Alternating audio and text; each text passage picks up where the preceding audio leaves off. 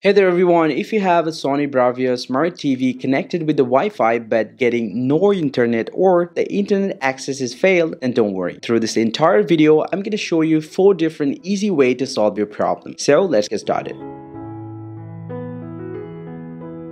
First, you need to check out if the problem is happening from the internet or from your TV. To do that, you can simply connect another device with the same Wi-Fi network and see the Wi-Fi is working over there or not. If you see that it's not working on the other device, that means this problem is happening from the internet. Now to solve this issue, you can restart your router or you can contact with your internet provider. But if you see that the Wi-Fi is perfectly working on the other device, that means the problem is happening from your TV. So now to solve this one, the the easy way to do that just go ahead and unplug the power source from the wall socket. And after that wait around 4 to 5 minutes and plug in back your TV and this process will reset your all the settings from your Sony Bravia Smart TV and then see it's working or not. Hopefully this will resolve your problem but if any case if you see that your TV is still not working then follow the next process. Well in the next process here as you can see I'm already in my home page. Now just go ahead and go to the top of the bar over here and then go all the way to the right side and once you get the help option just go ahead and press OK from your remote and select the first option customer support then press OK from your remote and then under the system information, you'll get the first option, self-diagnostic. So just go ahead and press OK from here and then start the self-diagnostic from here and it will start detecting the problem. If you have any problem running on your TV or not. So here it says uh, no error is detected by self-diagnostics. Well, so if the self-diagnostic doesn't work for you, get back from here and select the next point, internet connectivity symptoms. And so go ahead and press OK from here and it will start scanning the problem if you have any problem with the internet and let's see what's happened. Well, also if it doesn't work, then just go ahead and press the home button from your remote and get back to the home page. And the last and the final thing is that you can do a factory reset on your Sony Bravia Smart TV. So to do that, you need to find out the settings option. So here's my settings option. So I'm just going to go ahead and press OK and then go down to the system settings and then press OK. And from here, go all the way down from here. And then once the general setup is selected, you need to press OK again and then go all the way down from here and you'll get the factory settings. You need to press OK